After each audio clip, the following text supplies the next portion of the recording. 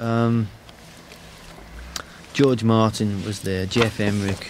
It was at Air Studio. I was at George's studio, George Martin's studio.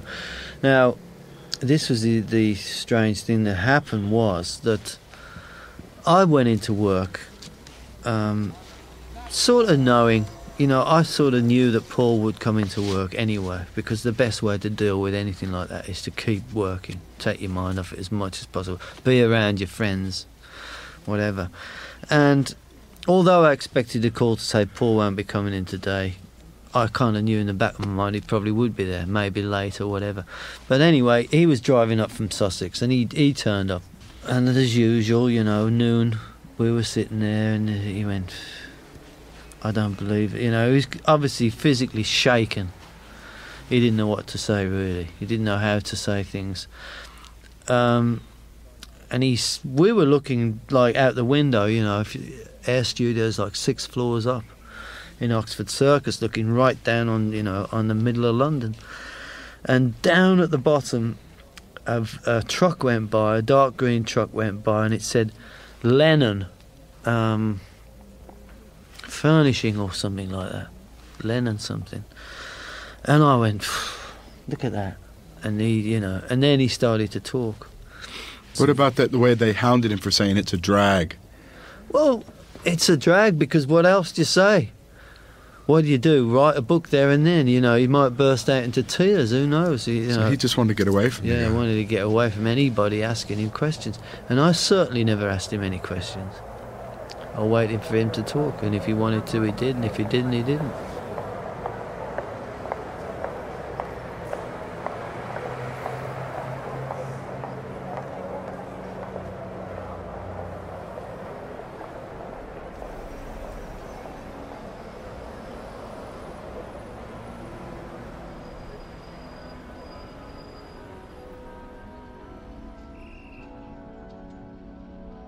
Then it kind of drifted away, you know. We kind of drifted away.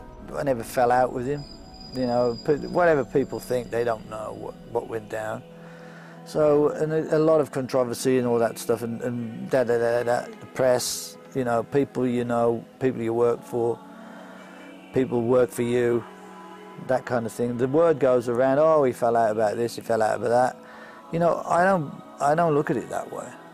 You see, I, I would never talk about things, negative things, because it was such a positive experience, the whole thing. Um, you know, and I certainly wouldn't want to sort of make it bad by talking about anything that, you know, silly little things.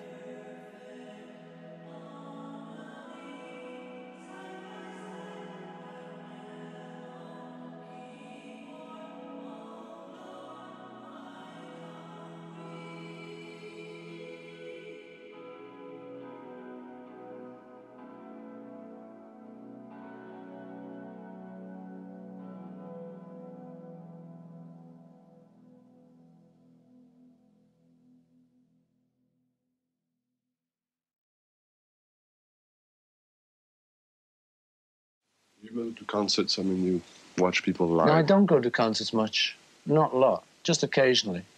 But um, mainly now, you know, I, I like to spend time at home. Because I got four kids, and uh, I got to find some time to see them. So if I was working here all day, then I go to concerts at night, and then I get home late, and the kids are all in bed, and then I get up, up late, and they're all at school. So I got to find time for them. So I don't go out. Stay in, get the fire banked up, get the telly on, get a drink, see the kids. Can't be bad, lads. That's another image of Paul McCartney. It's good though, isn't it?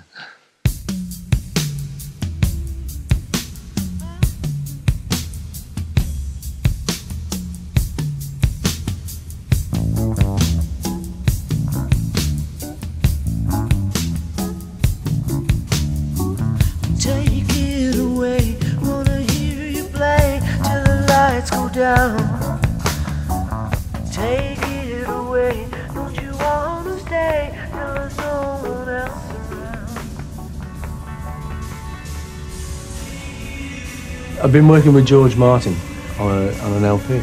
I'm not working with Wings, I'm working with various people. Really just because I fancy a change. What are people going to make of the, the, the second track, Take It Away? I think it's uh, an excellent pop song in uh, true McCartney mode. It's, it's got a very infectious feel about it.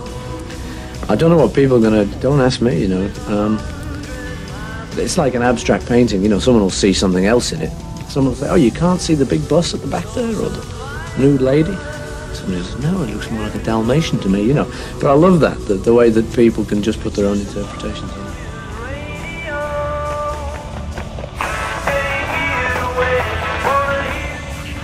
I think we found um, that we sparked each other off. That we, I relearned what a great talent he had.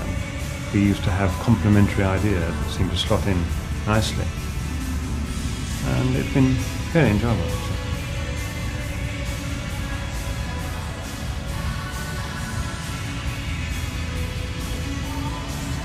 It's been wonderful watching them in the studio. There's, they have this rapport and obviously total respect of each other.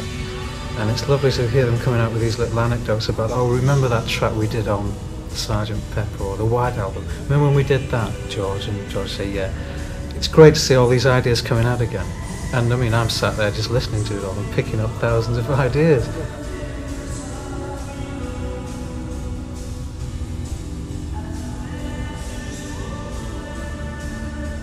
He, he gets tired of doing the same thing over and over again, so he'd much rather do it another way.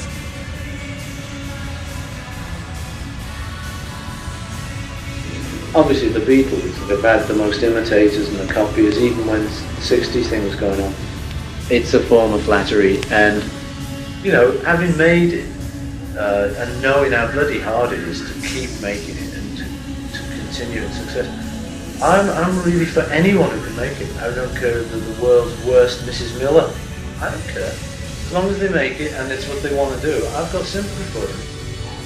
I, I recognise that we're all these very frail people, no matter who puts on the great show in the front. But basically, we're all just these very frail We're all imitate, all copy. You know, I've been where all these people are coming from. And so I kind of sympathise with you, you know, rather than just stand there and get jealous because someone's younger than I am.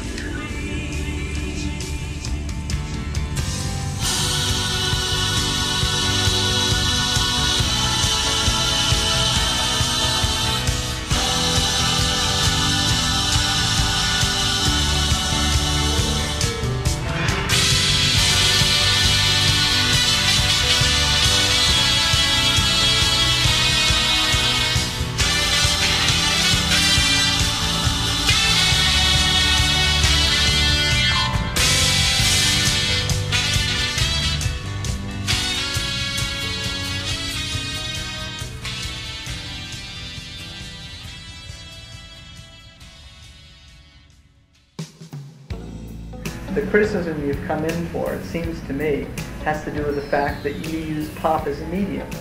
What is it about pop that you are attracted to? It seems to be something that you like. I just like it, man. It's I'm I'm like a lot of people. When you get in your car, you turn on the radio and you want to hear some good sounds, you know. And if you've got a really good radio station that gives you, which there's not a lot of, but if you if you get a really good station, that's the kind of stuff I love. You know, I love to hear a great new track from Stevie Wonder. So that's the kind of stuff I'm into.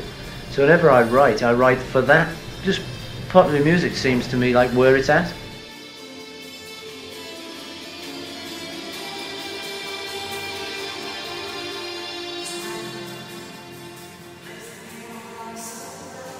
The biggest influence for me was the 60s, uh, the Motown and the Beatles. Uh, and I don't know if all that had a big influence on me. I'm sure it did. And I just project how I feel.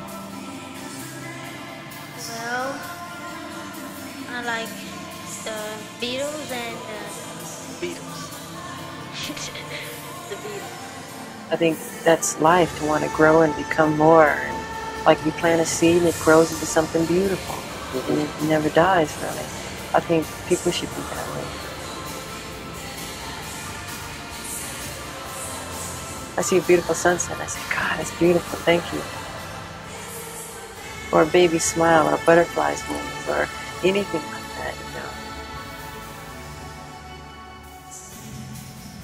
it's very difficult. See, I think his major, one of his major problems is he's shy, and he doesn't like to do interviews. You don't say anything, so they say a lot. You know, obviously a lot of stuff's blown up. I was raised on the stage. That's where I'm comfortable. And everything else is like foreign to me.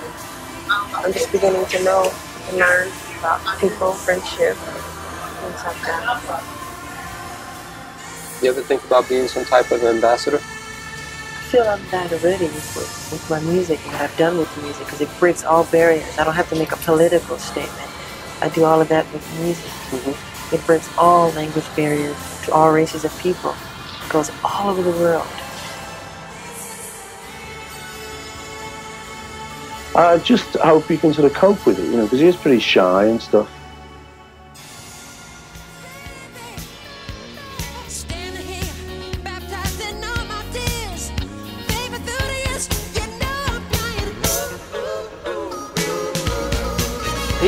He wanted to write songs with me. He said, uh, he said he wanted to make hits. So I said, great, come on. And I told him three things. I said, one thing, get someone who you really trust who's in charge of your money. I said, think of going into song publishing because it's really interesting, you know, and if you're in music and you love music, it can be a good business. And then the other piece of advice, make videos. Is he really wacko jacko? I don't think so, you know, I mean, it, some of his things he does must be seen like as strange. But we had a great time working together. He was, he was very good to work with, very talented and everything. So, um, you know, I, maybe it'll all work out fine. I don't know really. I don't, I don't know him that well to know how it'll work out. But I hope it works out.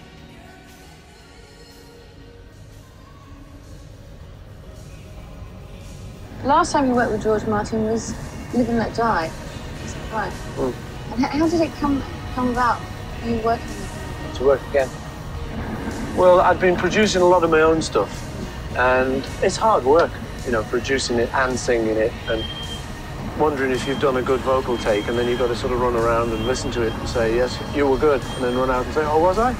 Yes, you know, and it's a bit schizophrenic. If you've got all the ideas and know exactly what you're going to do, it's okay, but if you start ad-libbing and busking, it's really difficult, and it's nice to have somebody else there who says, you were lousy, do it again. Is it nice to have the freedom to work with everyone you want to now? Yeah. Because you you, uh, you you always used to play a lot yourself, didn't you? Yeah, I still I still play a lot of instruments myself. But the trouble with that is it gets a bit boring. It gets a bit lonely. You suddenly realise you're in the studio. Like, where's the where's the mates?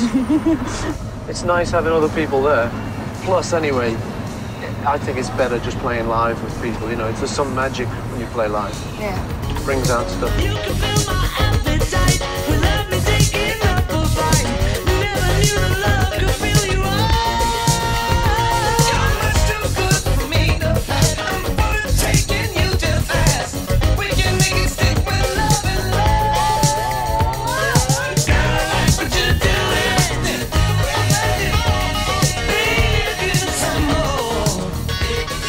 Would you like to keep on doing?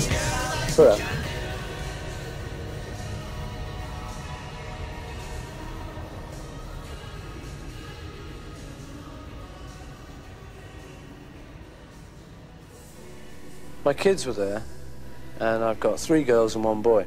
The boy's the youngest. And uh, I was singing Girl, I Love You, Girl, because that was the original thing. Girl, I Love You so bad. But I suddenly got the feeling that he felt a bit left out. So I kind of said, Boy, I love you. And I did it to him, and he got all embarrassed, and it was great, and I liked it. So uh, just changed the lyrics a little bit, and we put in a little link thing where it says, and she says, Boy, I love you. But it was really actually because I didn't want to leave my boy out of the love scene. She said,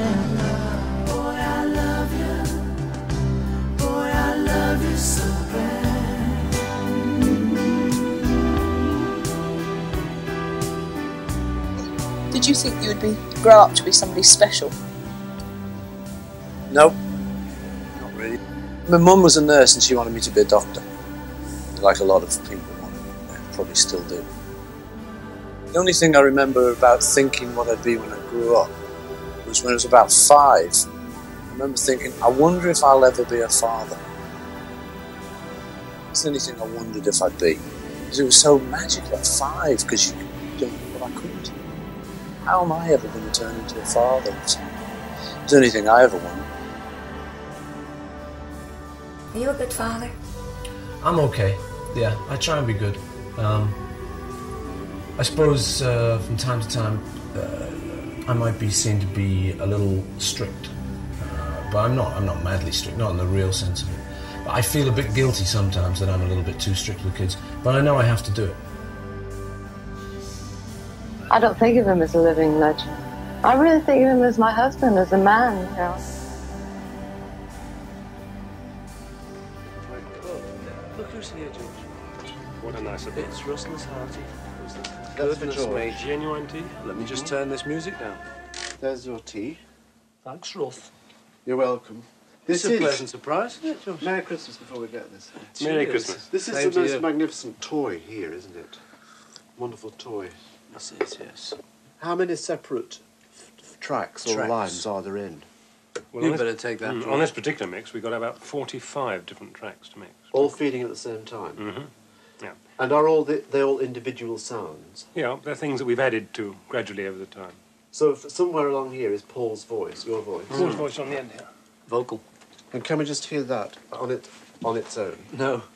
oh, all right then. Right, now then. Solo it up. Solo. That- What's that now? Well, Take the solo off. Yeah. Now, now put cut. So it loses my voice, see? Right. And then finally you've got pan, and that is for this knob. So that you can solo me, and you can pan it over to the left of the screen, That's Or- the stereo. or to the other side. It takes you right across. So it's wherever you want to put it in the stereo. You normally put the voice in the middle. There. It's the first time I've been very close to you physically. I mean, f- as what looking one to one, and you are amazingly young at the age of Well, I'm 54, not bad for 54, really. Yeah. Well, you know. What do you take? Not a lot. Um, I do a little bit of running in the mornings, which is life begins at 40. I've started doing it the last couple of years. Drink? Yes, please. Just a little one, if you insist. What's the best thing that came out of Paul McCartney solo? Um, the freedom, really, I think, to uh, to do pretty much what I want to do. Which is sort of everyone's dream, really. What was the reason for this film? there's a kind of there's a feeling on a film set with all the creative people uh, takes some beating uh, you know when people are trying to put together um, ideas costumes makeup acting sequence and stuff it's uh, there's a, there's a lot of things to be decided and if if if you get a buzz off being created like that like I do then um, that's probably the major reason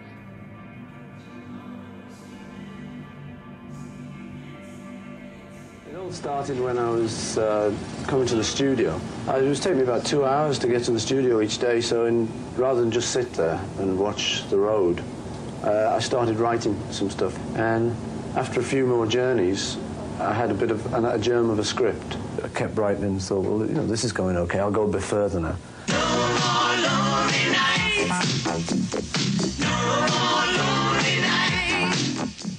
Uh, somebody rings me up early on in the film and tells me that the tapes to our new album have gone missing. What happens is I got a friend in the film who's got a criminal record, so everyone naturally assumes it's him. But I don't. I stick up for him. I think of myself just as me, you know. I mean, I don't. I'm, I don't have to analyze me like you guys do. It's not my job, you know. I can just be.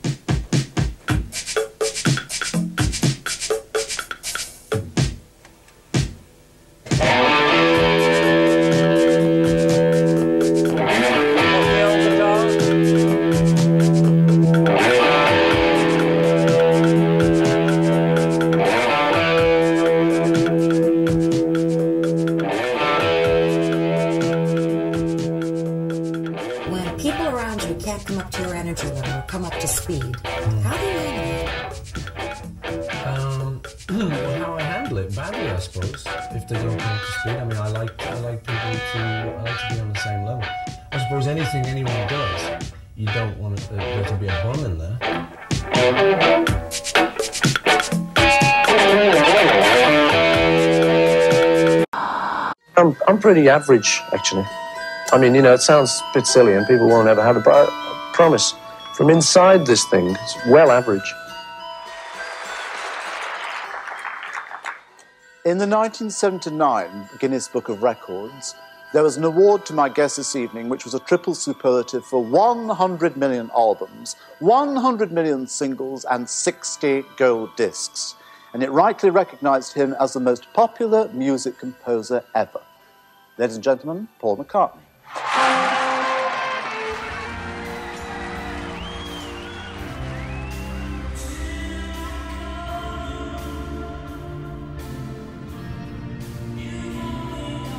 I'm one of the very lucky people who I don't have to exploit anyone to make money.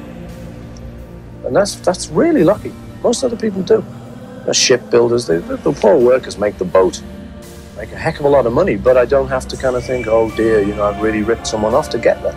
No one was forced to buy the record. So it's a kind of good, it's clean money to me, it seems like. It's hard to believe, but I really do think that if I lost all my money, um, it wouldn't be that big a blow to me. I've always kind of said I'd get to somewhere like Jamaica and live on a beach or somewhere. Just make tables or something, you know. I think I'd be very happy doing that. Because, you know, as long as the kids were there, I really love writing songs. I really do. It's really the only reason I've ever done it. That's the deep reason. It's just something I really like doing. It's like sex. I just like it. I think probably one of the things that, that helps me not get bored is uh, I don't mind risking things. So you didn't expect these rough reviews? No, generally I did expect uh, this and rougher. But the thing is, I mean, I've never let that put me off in the past.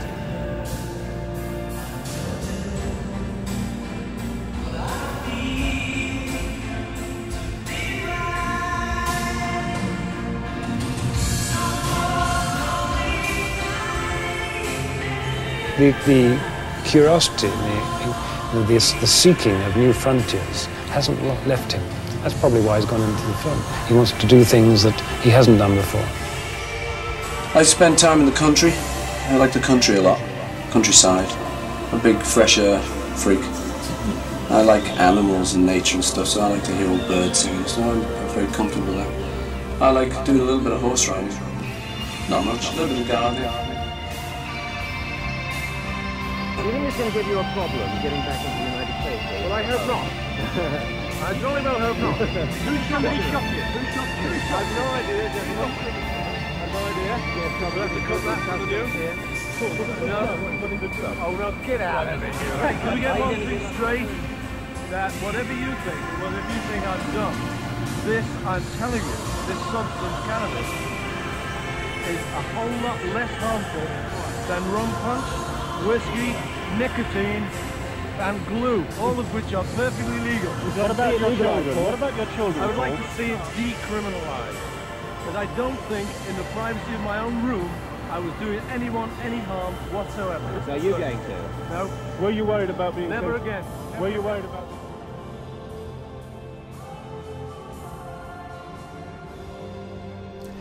Well, I confronted him with a, a situation that I don't think he'd come across before. He says, Well, this is the bit Henry for Milo. I said, I'm not playing it. What? You're not playing it? I know. I said, I'm going to change it. He says, Well, what are you going to play? I said, I don't know. I have no idea. Oh, Jesus, Henry. I was quite adamant. And uh, there was a 50 piece orchestra and myself. It came out of the blue. I went in and we did one take and that was it.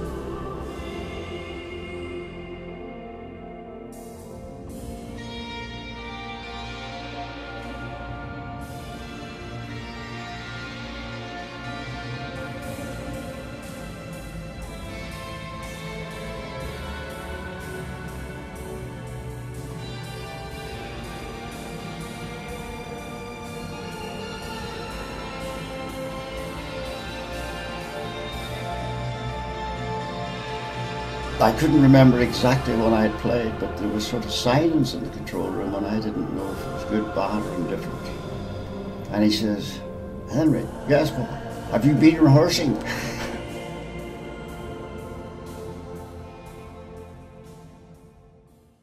Hello, my name's Paul McCartney, and this is my friend Rupert the Bear. Say hello. Hello. I'm off for a walk, Dad. Well, you, you be careful, son, and take notice of what your mother tells you. I will. Hello, Edward. I'm going for a walk in the hills. Do you want to come? Oh, I wish I could come, but I have to do some shopping. And I have to look after baby brother. I would like to make uh, a kind Oh, of Disney type Bye, animated Rupert. feature for children. Why? Cheerio. Because I love Mind how you go. cartoons. I love them. And uh, going out with Broad Street, there is a short of the character I'd like to make into a feature. It's called Rupert. sing or. One thing is certain, we'll never give in.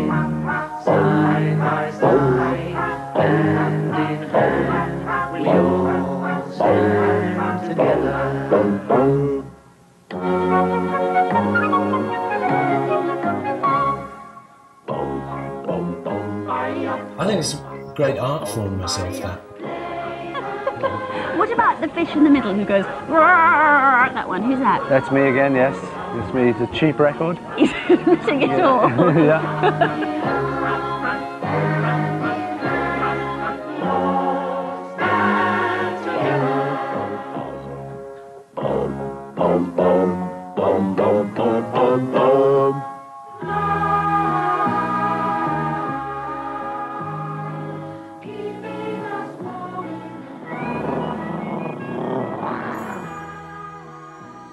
Weren't Paul McCartney, who would you like to be?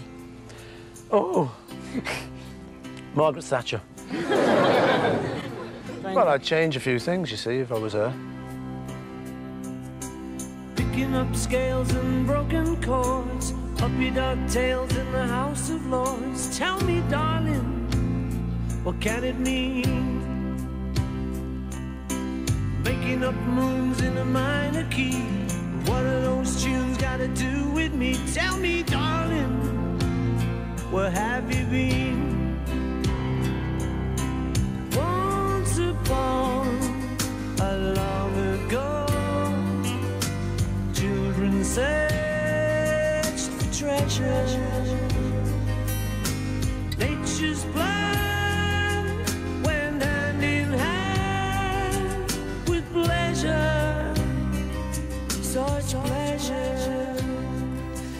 write so many songs. I mean, you've written how many over the years? You haven't I don't know. count, I've you? never counted. No, no. I'd like to know, actually. But how do you sort out the mediocre from the brilliant or the, the good? I don't know. I, I really, I don't think I do. You record what you think are the best at the time, and some of the ones you dump resurface later because they were better than some of the ones you chose.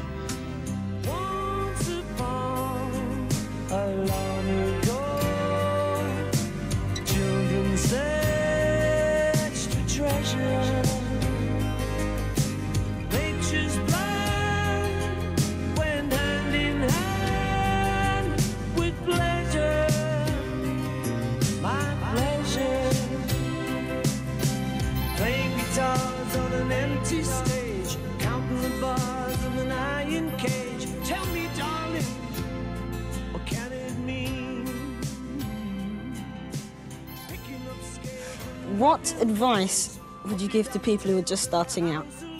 Um, I don't know if people would listen and stuff, you know, because maybe they oughtn't to listen to me. You've got to, you've got to follow your own lead. But if they wanted advice, um, be original. Probably pretend I didn't see. But knowing me, I want you back again and again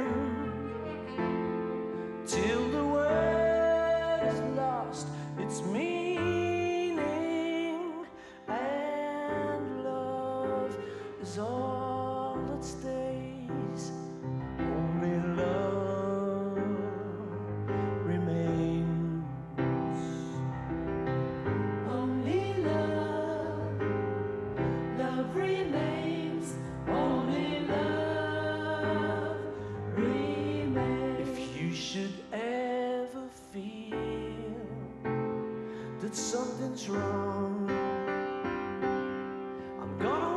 I do like ballads a lot, you know.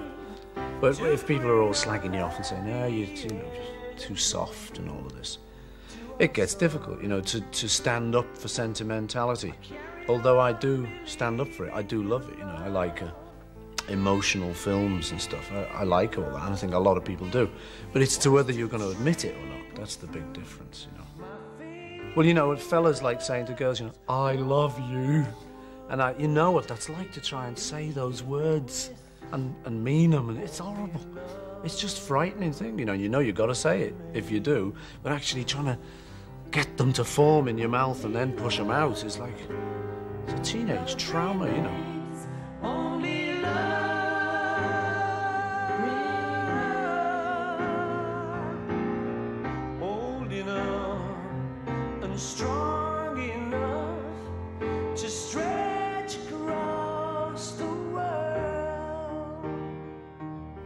You think about the music critics? How do you take criticism? Good or bad? Are you serious? I'm serious. Would you say you were very self-critical? Yeah, I'm pretty self-critical. Yeah. Uh, some people would say I should be more self-critical, maybe, but uh, I've got I've got to live with this. You know, I've got to live. You know, I want to have a good life along with this too. You know, it's not worth it if I'm just going to turn out a basket case somewhere in some attic, but produce terrific art. No, I, I'm not. I'm not up for that. Gone and we're alone, there's nothing left to shout about. I mean, one of the things I've noticed, although I don't analyse myself much, and I don't really believe in all that astrology and sort of signs and everything, but I'm a Gemini, and they do say about those people that they flit here, then there, and they're all over the place. I notice I do that. So if I've done a very bare album, then the next one will tend to be a bit slicker, because I'll think, well, I've done that now. Now let's have a change. So that's that's really the motivating thing that, with that. If I've done a lot of ballads, you'll find me doing a harder album probably the next time.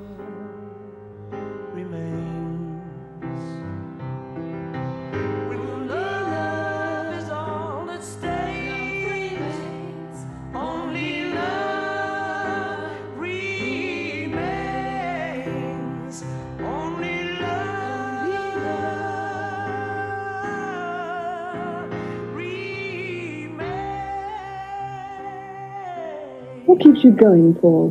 What possible new challenges are there for someone who's once been a Beatle? You don't sort of feel like that. I mean, just because McEnroe's won Wimbledon doesn't mean he doesn't want to win next year.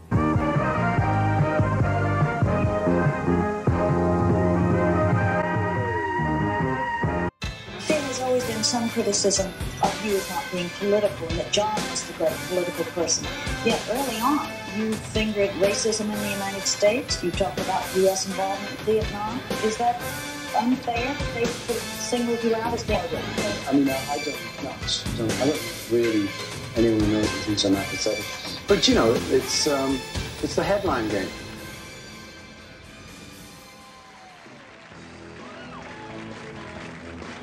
Do you think you're a family entertainer? And if so, would you rather be a rock star? I'm not really fussed about what I am now, you know, because I've been a lot of stuff I wanted to be. So, I mean, you know, if I was ever trying to become a title, a rock and roller, well, you know, I mean, I, I, I don't think of myself as anything in particular. I mean, obviously, as you get older, it gets harder to be a punk, right? To look a bit silly with the old, uh, the soap gear, you know. Um, but uh, I'm quite happy with what I am, you know. I'm not really bothered how anyone else thinks of me because it's difficult to pigeonhole. Would you It's appear weird. for causes then? I mean, Yeah, political I'll do stuff or for CND causes. or anything? People might say, well, you know, you've got such a comfortable lifestyle and stuff. How the hell can you get it? You're not on the dole. How, how do you dare be angry? You've got nothing to be angry about. But you have, you know, you've got uh, uh, Iran, Nicaragua, Reagan. I do do stuff for Amnesty International and things like that. I do stuff for them. And I try and do good stuff in them. I don't shout about it, but I believe you shouldn't shout about it. And uh, What about more political things? Political stuff um, is difficult because I don't actually agree with any of them. I think uh, there's no one actually answering what needs to be done. No, okay, do you think maybe the nearest for, let's say, unemployment would be the socialists, right? You know, that, that sounds the, the nearest. But I mean, what are they going to do? How are they going to deal with a Scargill? You tell me. Because, you know, I was here when Callaghan tried to deal with, some of the other things he had, and it, it, was, it was hopeless. I don't think the Alliance are going to do much. So, I mean, politically, I don't know. I have trouble finding a candidate who says anything. They doesn't say anything. Little eyes and the teeth.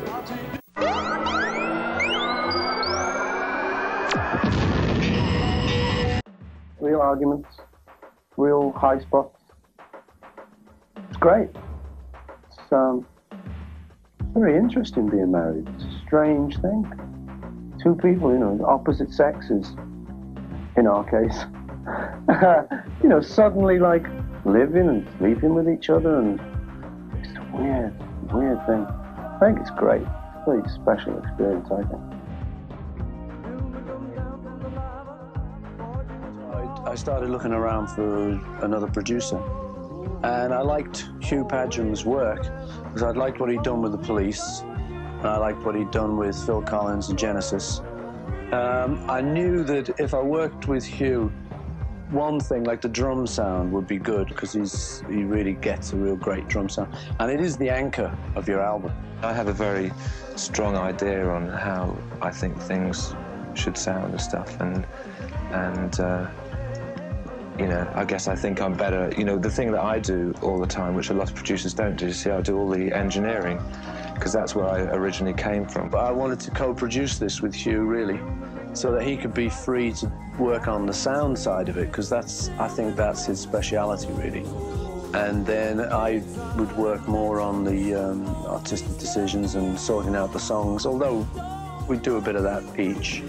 My impression of Paul is that he doesn't sit around trying to figure out what am I going to do? How am I going to go about doing it? You know, I think he he sort of gathered together the people that he, he wanted to use, and you, you put them all together, and and you make the record. And he was, you know, very, very calm. I mean, it's, oh, it's six o'clock, you guys. Okay, let's go home. That type of thing. You know, let's have dinner. I've got to go to my daughter's birthday party. I'll be back in two hours. And he actually just lets allows you to listen. See, for me, he let me listen to the song. And I was able to say, well, I'd like to play on this one. I'd like to play, I don't want to play on that one. I don't think it needs this. I don't think it needs that. This one needs so and so, you know. And uh, once the first song that I played on was Press, the single.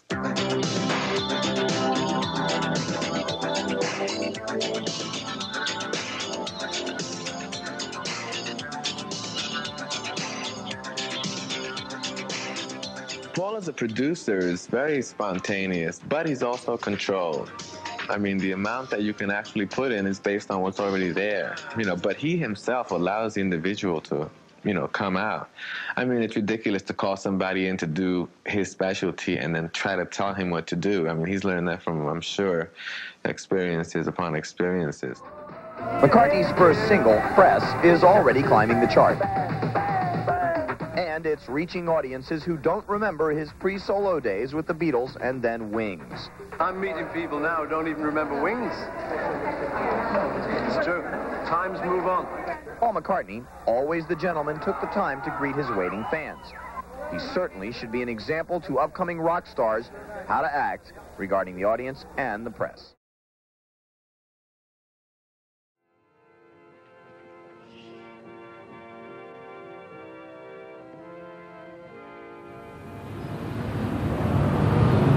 For about 10 years now, like a lot of people in the music business, I've been supporting a charity that helps kids with problems.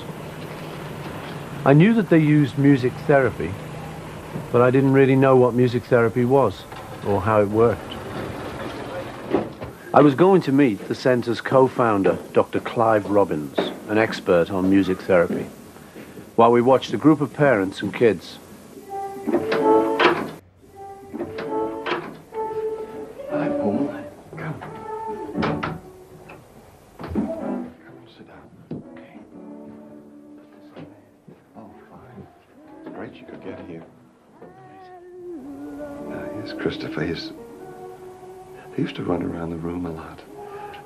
be contained in the group. For him to be in a group and part of it is really a big step. Have Hello, Martin. There's Martin. He's really didn't take part at all at first and would cover his face with his hands, but you can see that's gone now. Yeah. It's nice to see It's a marvelous age to begin with this kind of stimulation mm-hmm. because they need it, you know. They can't get it from life normally, generally. I suppose the old-fashioned way was to just sort of leave them and feel sorry for them, and now it's That's more right. bring them out of their shells. Or the doctors would say, oh, just forget this one. Have some more children. Yeah. You know, Oh, just yeah. write this one off. Yes. That's happened so much in the past. What happens when the kids go home after a session like this? Well, the ones that begin to sing, sing the songs. I mean, for example, Martin does that all the time. The other thing is it's the quality of the relationship. It's enriched here, and that goes home. Let's Therapy depends really on a lot of good musical common sense and generosity and love. Mm. So it requires great training, really, to be a music therapist.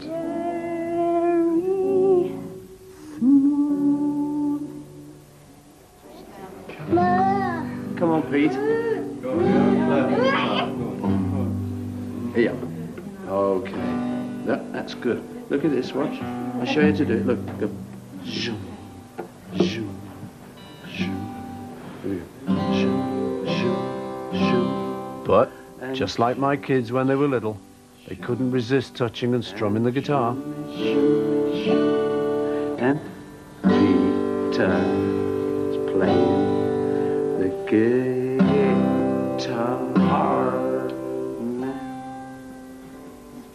Oh yeah, that's very good. Very good. Bit more, please. Yeah. That's, see the big one? Look. Who's the big one? Now there's a little one. Good like that. Should we try a song? Yeah. Can sing. Martin can sing. Martin can sing to the guitar. Martin can sing. Martin can sing. Oh, Martin can sing to the guitar. But Peter can play. Peter can play. As always, music was the bridge. And I know from my own experience that music itself can be the teacher. Peter can play. Peter can play. And Martin? Martin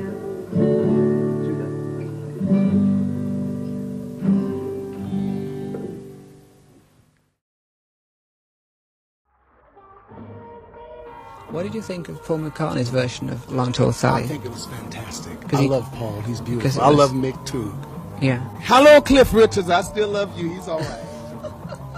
Uh, I, I think the Beatles themselves were surprised with the phen- phenomenal success that happened to them. I'm sure they were shocked because but they went back and got the old music. They went back and got me, Chuck Berry, Berry, yeah. uh, uh, uh, uh, uh, uh, uh, Bo Diddley. Uh, they went back and picked us up, you know. And Mick Jagger went back and got the uh, uh, Muddy Waters and, and Elmo James and Howlin' Wolf. And, and they just what they did, they brought it back to the public. Uh, uh, instead of coming out of America, they brought it from Europe and threw it back across the water. So now here it is. It's good. What do you remember thinking about what they were doing then? They sound good. Paul was unbelievable.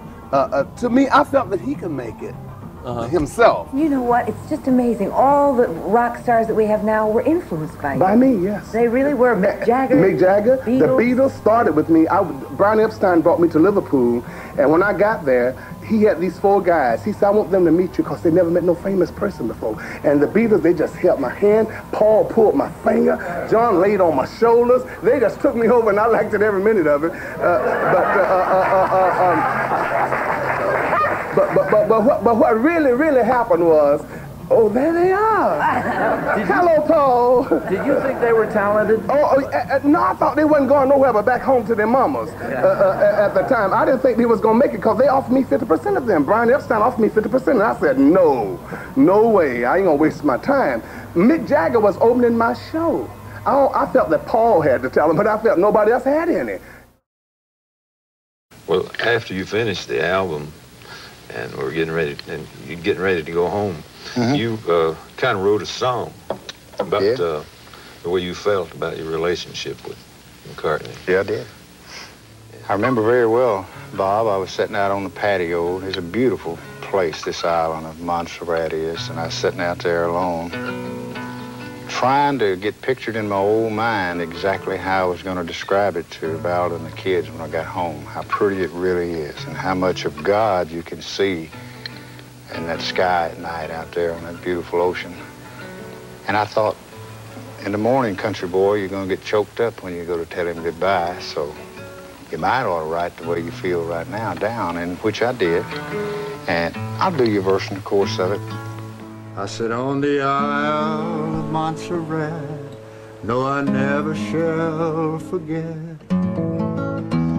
Just a country boy, a guitar and a song. You invited me in, and you've treated me like kin, and you've given me a reason to go on. You're my oh,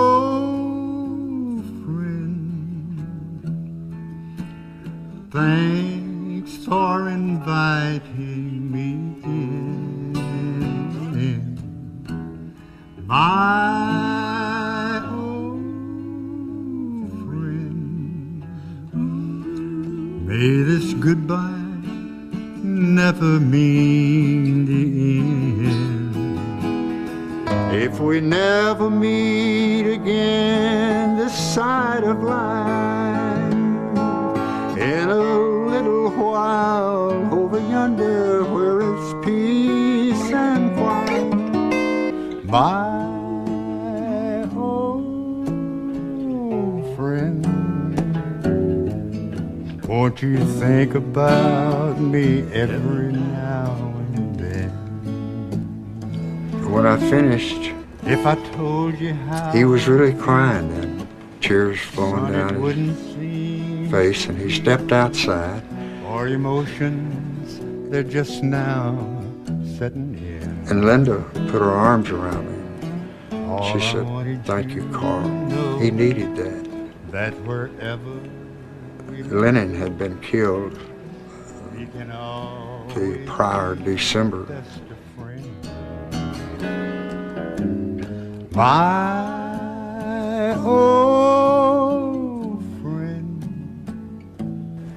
It was a touching moment, and it was kind of a, uh, a little frightful moment for me. My old friend, may this goodbye never mean the end. And if we never meet again this side of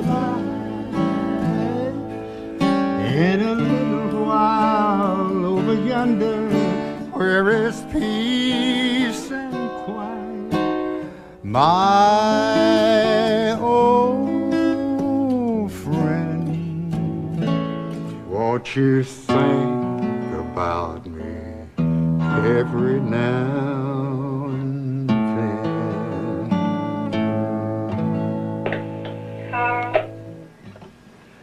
And that was the little girl that answered the original phone call. Hello? Paul McCartney just called. Bowd, are you kidding me? No, but I, I didn't answer the phone. I was in the. Phone saying McCartney? Paul McCartney. now listen, this, I'm telling you guys, Hear me? he left his number. Now let me tell you something. If you think that this boy is not got connection with the spirit,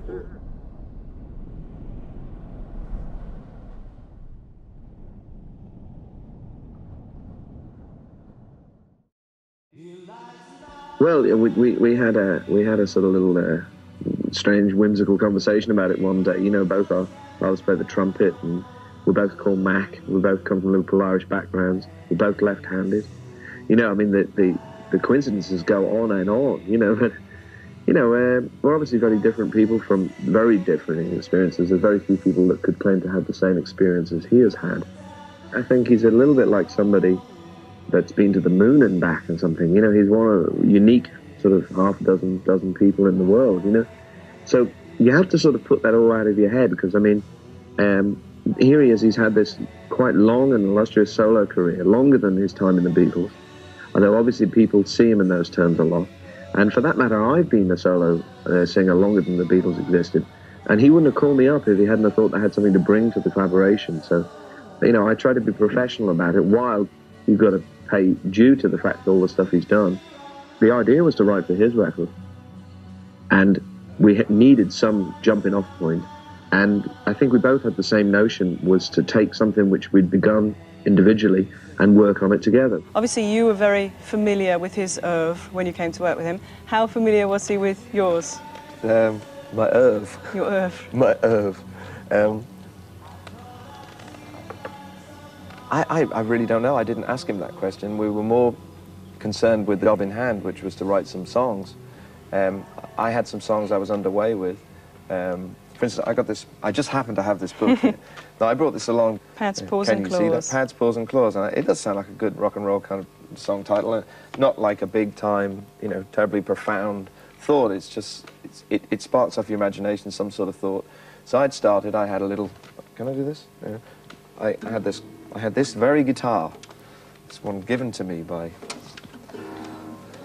George Formby. and I had this riff, which is just kind of. Uh, it's just kind of, uh, you know, people know that riff. They've heard it forever. It's so simple. It's like, uh, baby, please don't go. You know, and, and John Lee Hooker and all this stuff. And I had this much of a, of a song written. Uh, she's a feline tormentor, not any vaudeville wife, with a drunk town Mandy, leads her a miserable life. But when it's full of that beer champagne, she pats paws, pats paws and claws. And if you should wake up in some terrible dive, we don't know if it's so-so, but you're so surprised it's alive. Come on, little honey, let me under your hide. She pats paws, pats paws and claws. So I had that much of it, which could have gone on and on and on like that and just been riffing on that thing and would have been just fun. And so I, I, I got this song out while we were kind of feeling our way out and, and um, Mr. McCartney said, uh, well, that's all very well, this Pads paws, it's a catchy sort of little hook, but it doesn't really explain anywhere what it means by that. It, it, it's, it's just cute sounding, and you, you sort of establish these two people, and they're, they're sort of fighting back and forward. He goes out in the town, she's waiting for him with the rolling pin. It's kind of like an Andy Capp cartoon or something. He said, what you need to do is literally just go, she pads and explain, she pulls, you know, he pulls, and, and really looked at it really like, it sounds kind of cold, but in the long run, we wrote a bridge of the song which goes, uh, she pads, pads around the bedroom, practicing ways to flirt. He pours, pause another drink and anything in a skirt, anything wearing a necklace. He thinks our claws scratching his back. He's going out there, he's not coming back. Was working down the hallway, and that beca- that was sort of something that happened over the those couple of years, and that took a bit of getting used to. That we were, hey, McCartney's down, down there, he's down he's in there. You know, you, know you, you never assume that anybody that you've admired as much as I, I, I admire Paul would know who you were, but he was very charming when we met. And, yeah, like I say, his kids are running in and out of the studio. Can you keep those bloody McCartney kids out of the studio? and, um, uh, so, the, uh, you know, then I get a call. Will I go down to his studio and write songs? Well, yes, of course. Then and I think Veronica was the second song that we wrote. I truthfully had written a lot of it. It was one of two songs that we brought to the table, partly assembled. You can probably guess what he wrote in this song. He, he made the chorus pop a lot more.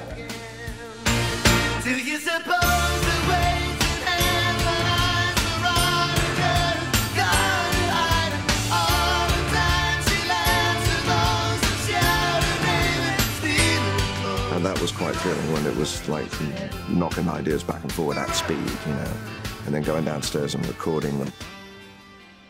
And then, you know, we, we got to work over the next couple of years, and we, we ended up writing 12 songs, and a couple of real good ones, I think. I think I persuaded him to pick the Hofner bass up again. I, I, I, and I, I can sort of understand it now. Now it's all of what I'm telling you is 20 years ago.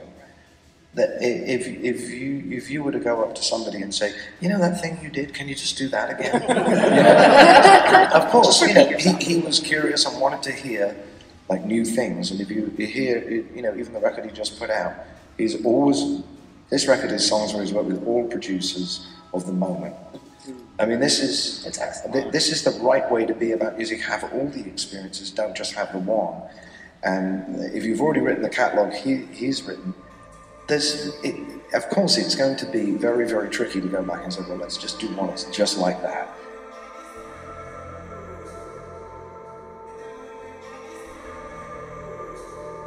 I even though Paul McCartney's only on a tiny bit of the new one all day, yeah, when it happens, it's really cool. I think that maybe out of all the collaborative ones so far is my favorite, just because it's like p- uh, people forget because the Beatles are so big.